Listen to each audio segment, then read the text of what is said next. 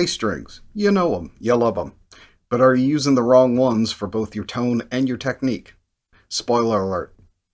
Probably. Metal Bass Monday. Well, welcome in, and if this is your first time here, uh, this is kind of what goes on. Uh, lots of talk about bass in general, but uh, especially from a rock and metal perspective. Uh, I hope I earn your subscription today. Much appreciated if you hit that bell and hit a like, and even if you share it. It definitely helps out, and especially since uh, I've gotten notices a lot of times from you guys that uh, even though you've subscribed, you're getting unsubscribed. So, not sure what some of the problems are lately, but uh, the subscriptions always help. Turn on the alerts and notifications uh, so you get to see the weekly show and the other stuff that pops up. Uh, some more gear demos coming this week. And on top of that, in the next couple of weeks, we're going to keep on with the technique and chop type of themes like we did last week. If you didn't see last week, I did a mini bass solo with a number of techniques in it. Check it out. And uh, patrons got an extended version of that with a couple of drum tracks and some things to go along with a little deeper understanding of what was in it. If you'd like to become a patron on top of it and help the channel out, those links are down below. Uh, Subscribestar, Patreon, it's always much appreciated, and thanks so much to my patrons. I hope you guys enjoy it, and more to come. Every technique lesson will have an extended portion for you guys. So with that, let's get into some strings. I get asked constantly about strings. I would say probably more than any other question next to pickups. I know it's something we blow a lot of money on, and especially because for bass players, it's even more a crucial part of our tone than guitar players. There's a problem here that I want to make sure it gets across, and I'm going to show you some ways of figuring out what's right for you. But I think one of the biggest problems is, is everybody expects an easy answer with this, and as I've railed against probably 8 billion times on the channel, easy answers are always almost worthless answers. Uh, I get asked, you know, what gauge do you use? Uh, what about my B strings floppy? What do I do? This uh, I need to down tune. Should I change gauges? Should I do? The answer to all of it is maybe. and I realize that's frustrating, especially when, you know, we live in the quick answer society and everything's in preset, but it really is that way. Some more thought has to go into it because it depends on your technique. It depends on how you set up your bass. It depends on the brand that you're using. And just saying a gauge should be a warning sign to anybody that if somebody just jumps in and it's always in these Facebook and internet forums, oh, dude, you totally need to go up to 145 for this, this, or that. It's like, well, with what height of action? Are your strings stainless or nickel? Are they round core or hex core? All of these make dramatic differences. Just going from a round core string to a hex core can make a huge difference in the amount of perceivable tension at the same gauge. So automatically just screaming that you have to throw on these redwoods to, onto your neck just to suddenly have enough tension isn't taking basically 90% of the factors you need to think about into consideration. And that's why, again, simple answers are made by simple people. Don't listen to this stuff. But I'm going to show you how to start figuring some of this stuff out and the considerations you need to do. The main consideration is, and the thing I find that people do, not just with strings, but with gear in total, is they throw it into an already existing gear setup, and if it doesn't immediately make the change that they want, they just discard it. And that's just not the way it goes. The fact is, your gear and your sound is kind of an ecosystem. If you change one element of it, you have to change the other ones to accommodate. So I'll have guys that'll put on lighter gauge strings or something. They'll go, oh, it's too bright. Ah, I don't like this. And take them right back off. It's like, well, did you try reducing your treble? You know, those those knobs on your amp do stuff. Like, and it kills me that, you know, people will get their sound with the strings they already use and then ex expect anything new to automatically work with those settings. You have to change everything around to accommodate it and I think that's one of the big reasons why so many people struggle with string choices is that they expect, again, the easy plug-in thing. And something's just going to sound magic with however they've already dialed in their knobs. You have to change things up a bit and try it out. The other is that it can come down to your technique. And that's why I kind of wanted to address this one, not only because it gets asked constantly, but because we're in the middle of doing some technique things, this can affect your technique. Because different gauges of strings and different techniques can yield different results. One of the things I hear all the time is this thing about, oh, there, you know, a, a string is too flapping or booming or it doesn't feel like it has enough tension. And maybe, maybe it's, you know, again, that you should switch to a hex core and that in the same gauge and that's going to feel better. Or you could not beat the hell out of your bass. that may be an option. You have to consider that too. You know, should I not play so damn hard? I've seen this all the time and I've watched this Ouroboros snake eating itself thing with these guys sometimes that go with these ridiculous gauge strings where they'll pick like hell and then they'll go, oh man, I'm, I'm not getting enough resistance from the string. So then they try heavier strings. So then their tone gets really dark and they don't have any definition. So then they start hitting it even harder, trying to get more definition. And then that's not working. And but now the string starts flubbing again because they're hitting it even harder.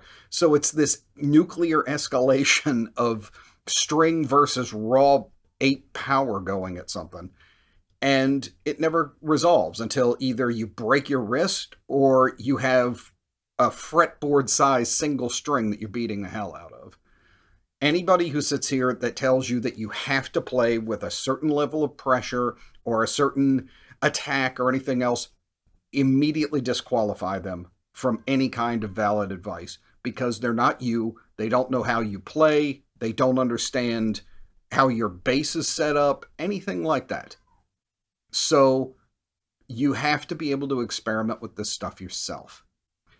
And I can give you some tips on how to be able to make certain educated guesses towards how something should go or where your path should lead you.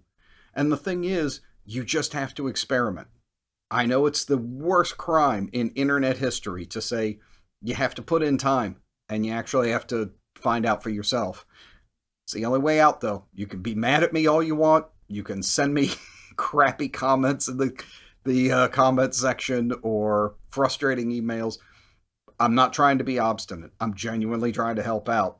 the end of the day, nobody's going to be able to help you but you because only you know exactly how you want it to feel and how you want it to sound. So let's check out some ways of picking out what our bass should sound like and what kind of string should be on it and how we should be attacking them.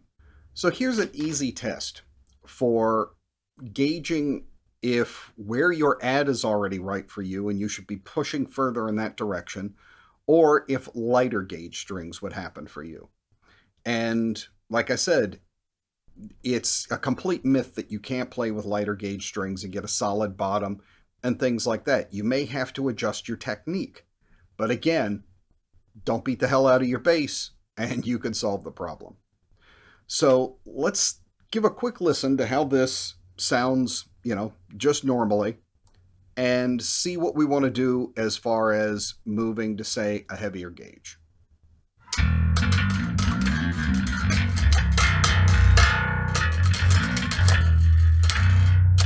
So that's our zero point. This is in standard tuning, and this is in a super heavy gauge. To me,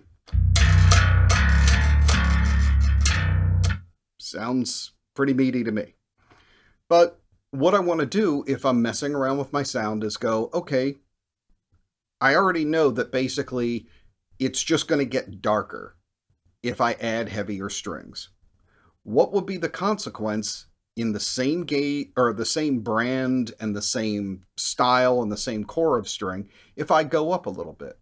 So what's going to happen is you're going to end up with a string that has slightly less tension, not too much, at the same gauge, but you're also going to get you know less actual mass and you're going to get a brighter tone out of it. So what you can do is a quick approximation. What I'm going to do here is go, okay, if this note here, my fifth fret and the open above it are the same note, this one's a lighter string, obviously. So if I want to kind of hear, say, what this string is going to sound like, if it's in a lighter gauge, I can get a little bit of a clue by taking a lower note, like say D or D flat, we'll start with D, and detuning my E string down to D to hear what it does with slightly less tension and a deeper note. What characteristics does it take on?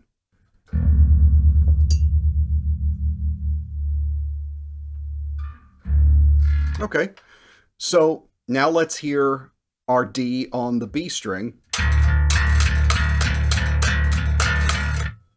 Now let's hear the D open.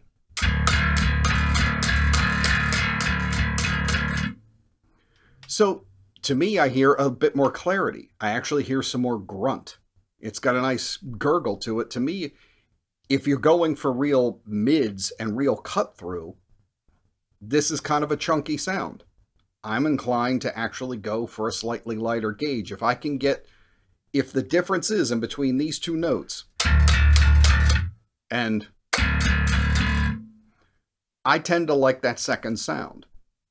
So what I might do then is probably get this exact same brand and uh, series of string, but order it in the next gauge down. You know, if like this is a, you know, 125 or 130, I may go for a 120, do the extra light. So that's a quick way to start hearing the characteristics of how this is going to go. Right away, I can sit here and go, okay, I hear a slightly more throaty mid, and that's what I want. But if you're a real massive wall of fundamental that you want that thing that's almost felt more than it's heard, that's maybe your jam right there. You've got a bit of clank on top to be able to cut through, and you've got some thump. Now, the other thing that this can help you do is because this string has now gone from standard pitch to a slightly lower pitch, is going to a lighter gauge isn't going to be as slack as this will be, but it'll be slightly less tension. It's going to be in a thinner gauge, but it'll give you a general impression of like, well, if I can tolerate how this tension feels, then I know I'm good with how it's going to feel going to a lighter gauge. This definitely feels a bit, you know, it moves with me a little more now. So instantly I can tell, whereas with here, I dig in a little more because it takes a bit more to move mass with the, the string and the weight of it and get it to actually sound out. I do have to show more control with the lighter and the detuned string, but I also don't have to hit it as hard because it does move. And again, if we're going for an aggressive sound, lowering that action down, getting that smack off of the frets, is really going to give you that twang. So in a way, it's kind of a blessing. I can lighten the hell up and get the same type of attack and clang and rip and tear out of it as I do when I really beat this. Check out the difference. I'm going to really lighten up my attack and play that note open. Now I'm going to lay into this note and do the same thing on the B string. So I'm not getting quite the same aggression out of it. So all these people that are like, well, you know, to get the real clear notes and the real, you know, you really have to dig in. You have to do all this. It's crap. Complete and utter crap. For them, it may be that way because maybe they have really high strings and they probably play with a pick and they really jam on their notes. And that's the desired result for them. They're make, looking for more fundamental. They want more this than this. So again, it's half the time when you're asking for advice on these things, you're not coming maybe from the same reference point. That guy may want this note and you want this note. So you can't get that advice again. You have to integrate it into your own setup and your own EQ. So for me, like with this bass, uh, I like this and, you know, I like the tone that I'm getting out of it, but I prefer this. So the next time I restring this, I'm going to go up a gauge. Up, I mean lighter. And just to give you an idea, this is tuned to B. I'm actually going to drop this to A and let you hear that I think it's it actually lends itself to uh, kind of being in there. Let me retune my other string first.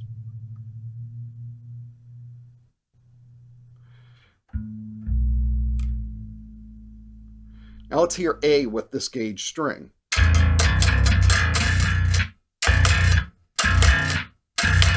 Just a, a, good grunt in the same way that detuning this string did.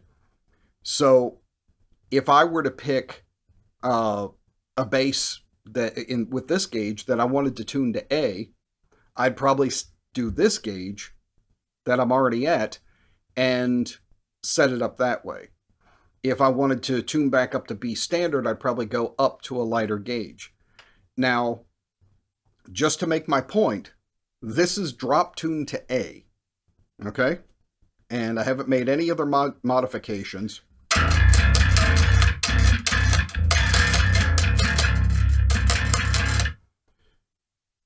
Plenty of fundamental, plenty of definition, lots of grunt, sounds good to me. This is a 125 B string. To most of these, you gotta play tubby strings guys.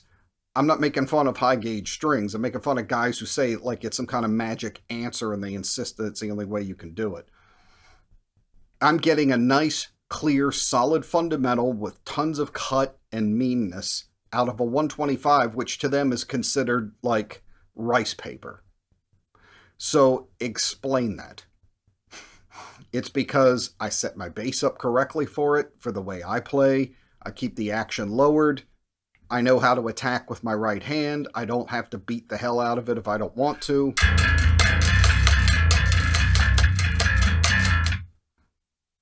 Sounds good to me tons of grind, ev like everything I want in the Sonic palette is present there. So do, you can't get this advice without it being on your bass with your attack. And the thing is, when you're trying different gauges, remember what I said about the ecosystem. You have to not only put it on and try it out, you have to make other adjustments to see if something in your equation isn't the thing that's holding it back. It's not always the strings. It may be that the new strings with the EQ is not working out right. Or it may be your attack. Or it may be the way your preamp's set. Or, you know, it can be a hundred different things. So commit to it. You know, when you have a problem on your bass, try making changes here first. It's almost like this is what we use that touches the strings. Try making those changes first play a little harder, play a little softer, lower the action, raise the action.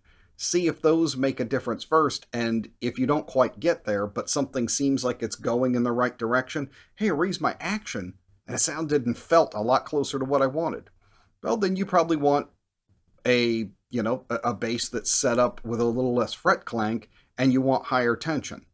So make sure that you're using hex core strings because they're going to be the highest tension, and probably stainless. Stainless tends to be, uh, not always, but tends to be more taut than a nickel string is going to be, and run from there.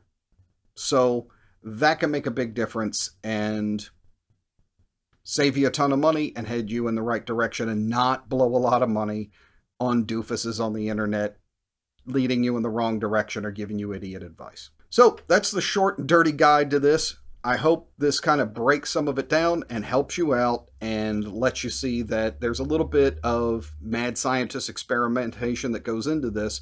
But if you do that work, you're going to get there a lot faster and it's going to work out better for you.